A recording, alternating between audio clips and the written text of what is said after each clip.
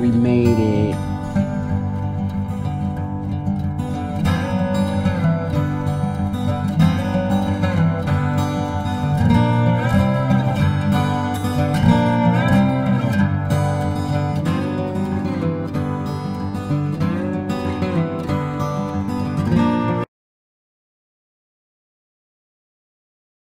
Hi, welcome to the Outdoor Laboratory Podcast.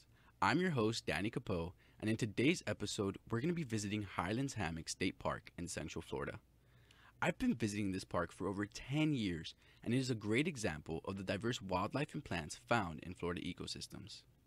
In 1881, Jonathan Skipper settled in the area that is the park today.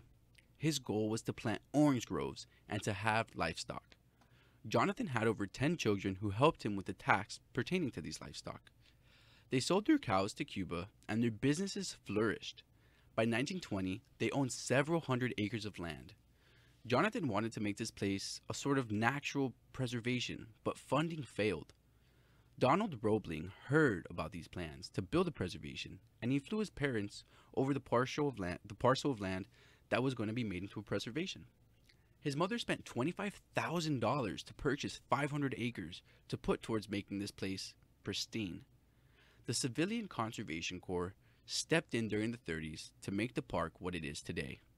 They added all of its trails, all of its roads, and all of its campsites.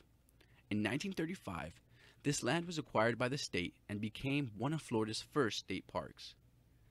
Alexander Blair, a civil engineer, wrote out the first building plans for this park.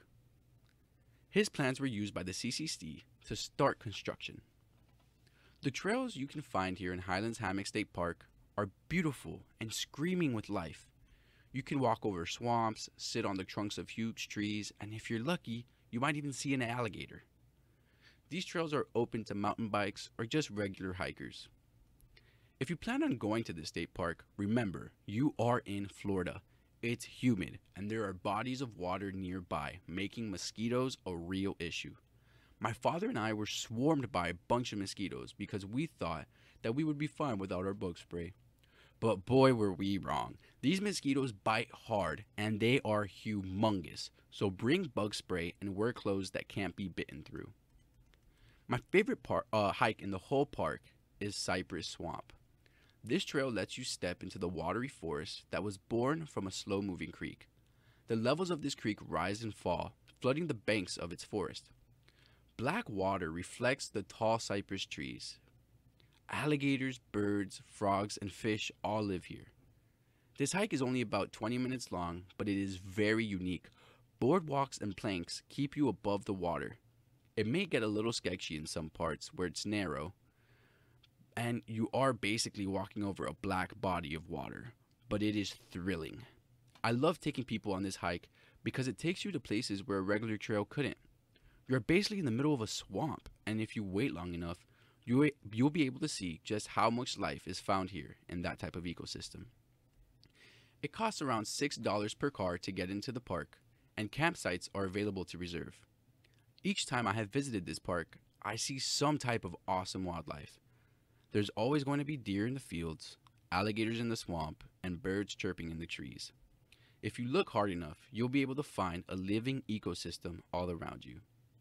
This state park, in my opinion, is underused. Each time I visit, there are less people I see enjoying it. Perhaps the mosquito and the heat turn them away, but this is definitely a park that you don't want to miss. There's a Civilian Conservation Corps museum here that is top quality and very inform- informative. I highly recommend this park if you're passing through Florida.